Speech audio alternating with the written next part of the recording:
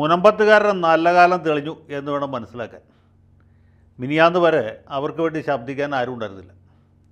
മിനിയാന്ന് ഒരു സംഭവം ഉണ്ടായെന്ന് വെച്ചാൽ വരാപ്പുഴ ആർച്ച് ബിഷപ്പിന്റെ അതിരൂപതയിൽ നിന്ന് ഒരു സംഘം വൈദികരും ഒരു സഹായം എത്രാനും കൂടി കൂടി മുനമ്പം സന്ദർശിച്ചു. അവിടെ നടക്കുന്ന സമരത്തിന് സർവവിധത്തിലുള്ള പിന്തുണയും പ്രഖ്യാപിച്ചു. അതേ സമയത്ത് തന്നെ അങ്ങ് തൃശ്ശൂരിൽ നിന്ന് സഹായമെത്രാൻ ടോണി നീലങ്കാവിന്റെ നേതൃത്വത്തിൽ മറ്റൊരു സംഘം.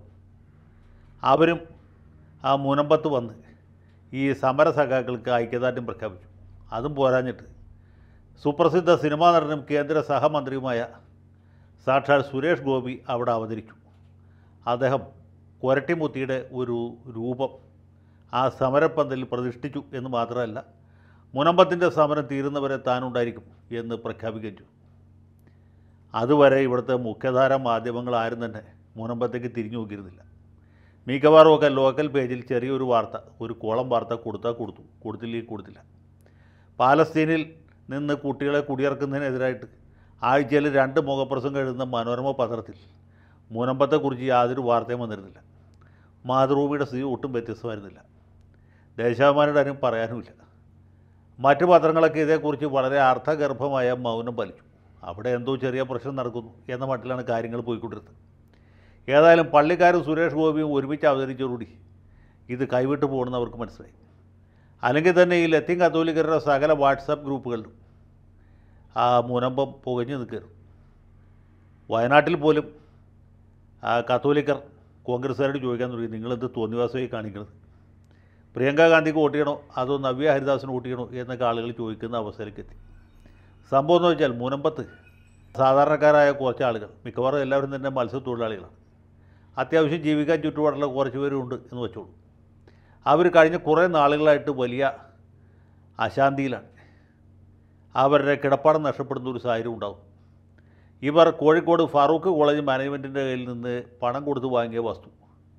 അവിടെ അവർ കരമടച്ചുകൊണ്ടിരിക്കുകയായിരുന്നു അത് അവരുടെ പേർക്ക് മുതൽ കൂട്ടി പോക്കുവരവ് ചെയ്ത് തീറാധാരം ചെയ്ത് വാങ്ങിച്ച വസ്തുവാണ്. അത് വഖഫാണ് എന്നാണ് ഇപ്പോൾ വഖഫ് ബോർഡ് പറയുന്നത്. വഖഫ് ബോർഡ് വെറുതെ പറയുന്നതല്ല. വി എസ് അച്യുതാനന്ദൻ മുഖ്യമന്ത്രിയായിരുന്ന കാലത്ത്. അന്ന് സാക്ഷാൽ എസ് ശർമ്മയായിരുന്നു ഫിഷറീസ് മന്ത്രി. പാലോളി മുഹമ്മദ് കുട്ടിയായിരുന്നു സംസ്ഥാനത്തെ വഖഫ് മന്ത്രി.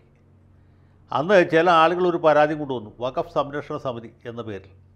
അവർ പറയുന്നത് ഈ മുനമ്പത്തെ വസ്തു മൊത്തം വഖഫായിരുന്നു.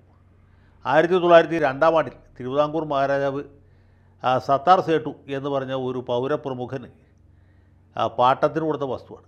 പാട്ടത്തിന് കൊടുത്ത വസ്തുവിന് ആ പാട്ടത്തിനെടുത്ത ആൾക്ക് പാട്ടത്തിന്റെ അവകാശം ഉണ്ടാവുള്ളൂ. ഉടമസ്ഥാവകാശം ഉണ്ടാവില്ല എന്നുള്ള ലോകപ്രസിദ്ധമാണ് ഉടമസ്ഥാവകാശം അപ്പോൾ മഹാരാജാവിനാണ്. ഇന്ത്യയ്ക്ക് സ്വാതന്ത്ര്യം കിട്ടിയപ്പോൾ അത് ആ ഇന്ത്യ ഗവൺമെന്റിനായി കേരള സർക്കാരിനായി.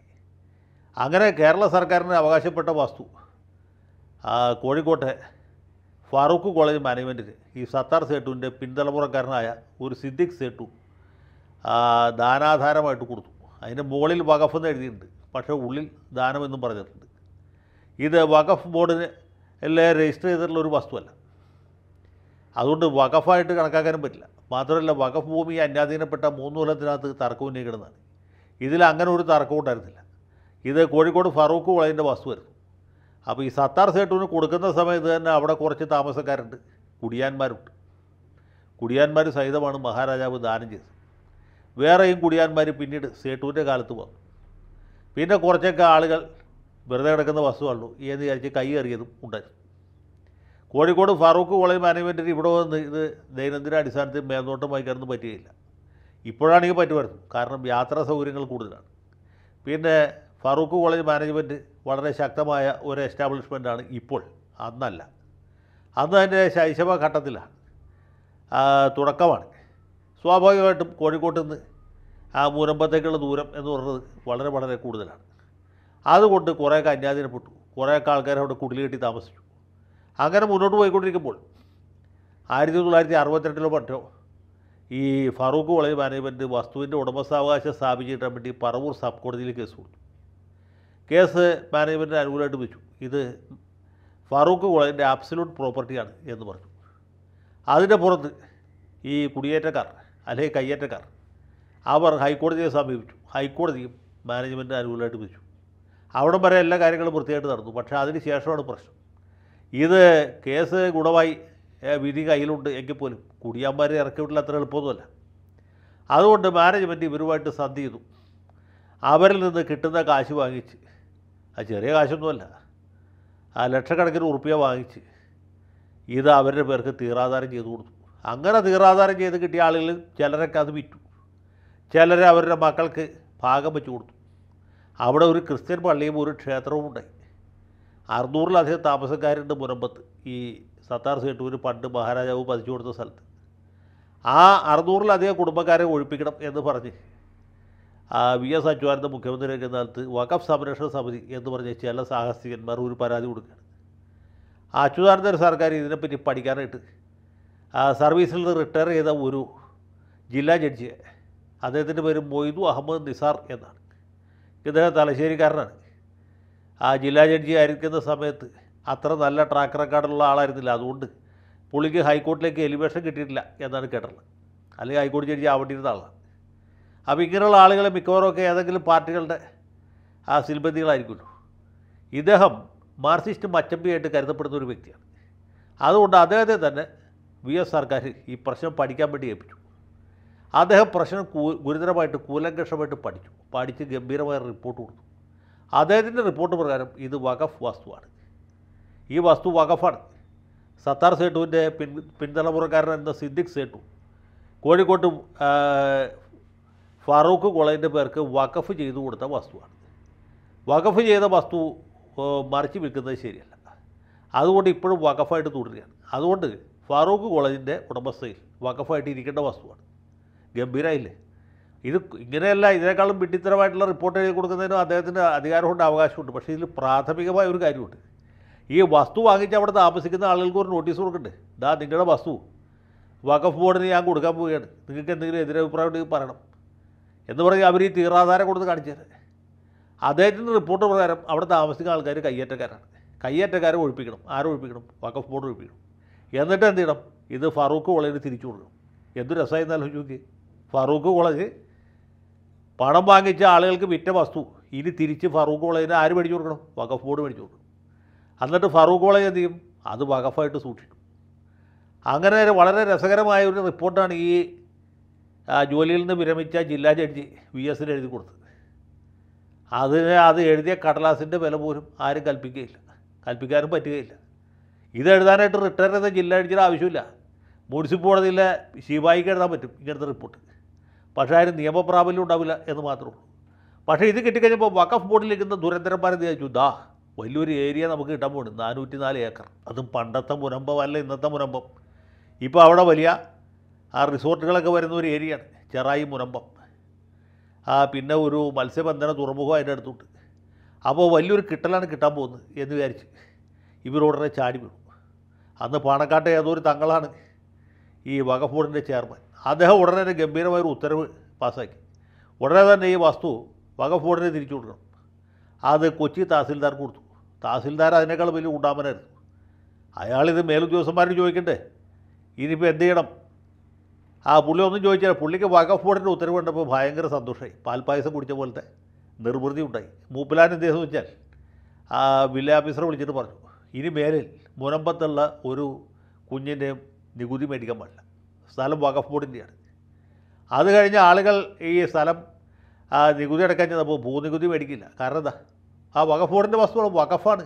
അപ്പോഴാണ് ആളുകൾ അറിയുന്നത് ഇത് വഖഫാണത്രേ അത്ര അതിന് മുമ്പ് മുനമ്പത്തുകാർക്ക് വഖഫ് എന്നുള്ള വാക്ക് തന്നെ അറിയില്ല. അവിടെ അറുന്നൂറിലധികം കുടുംബക്കാരുണ്ടെങ്കിൽ നാനൂറ് ആ ലത്തീൻ കത്തോലിക്കരും ബാക്കി ഈഴവരും ശേഷം തീവ്ര സമുദായക്കാരും.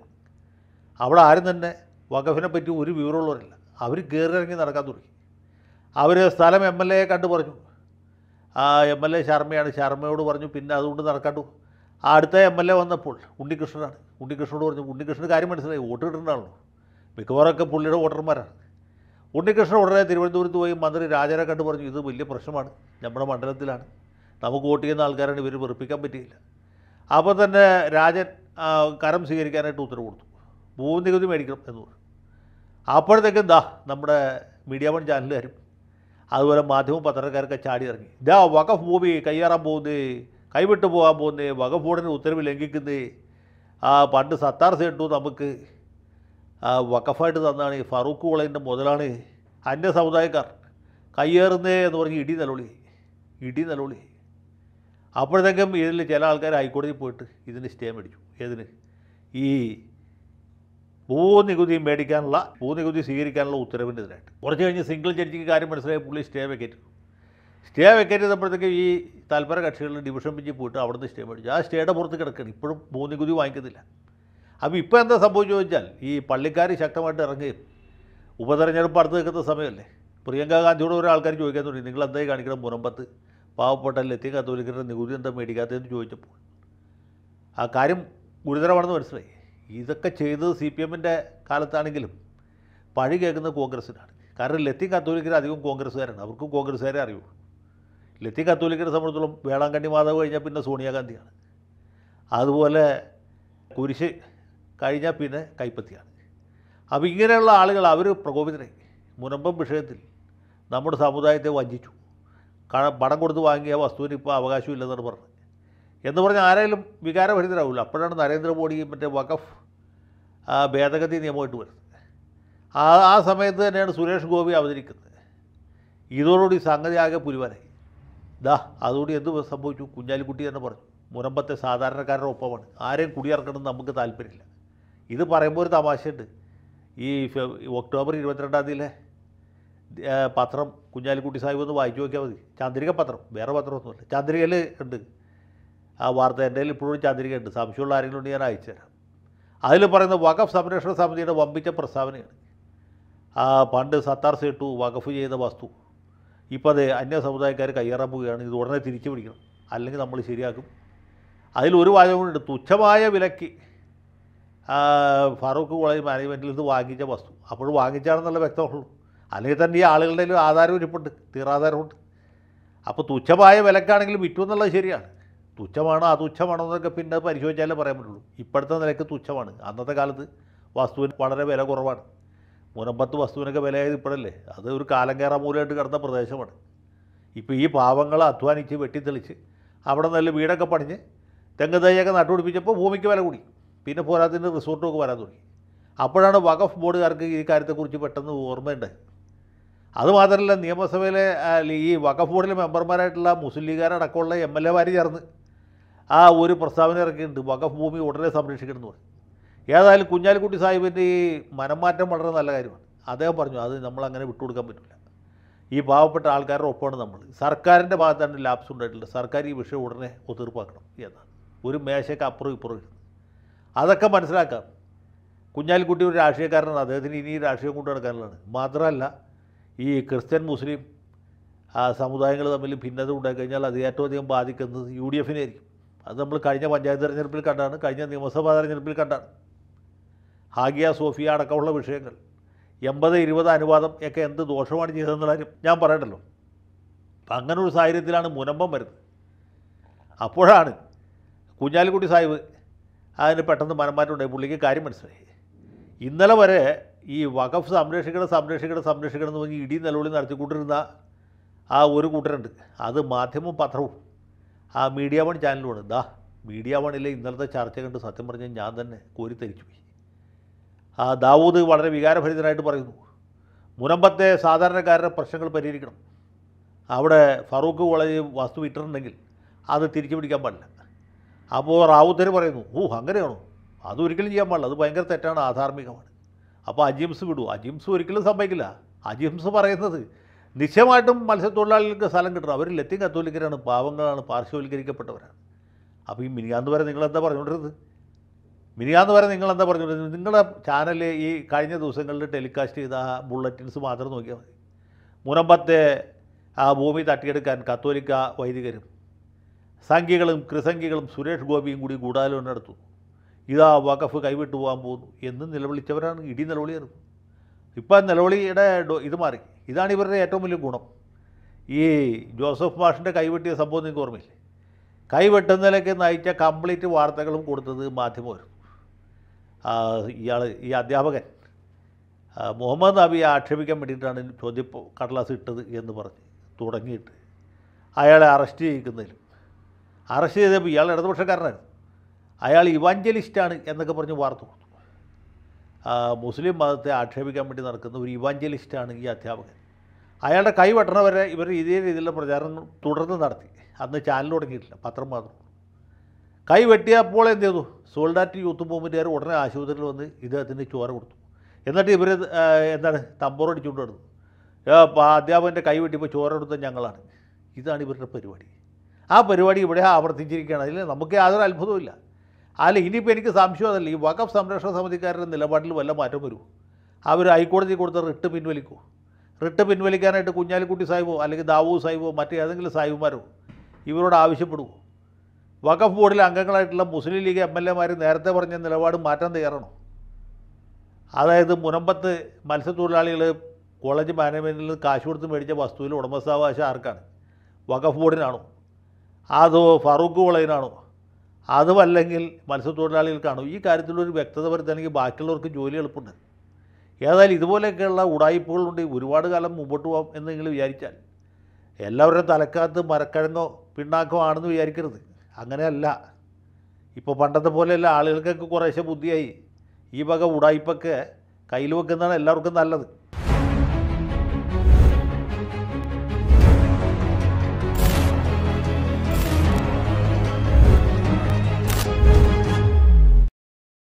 കൂടുതൽ വാർത്തകളും വിശേഷങ്ങളും നിങ്ങളിലേക്ക് എത്താൻ A B C Malayalam subscribe ചെയ്യുക.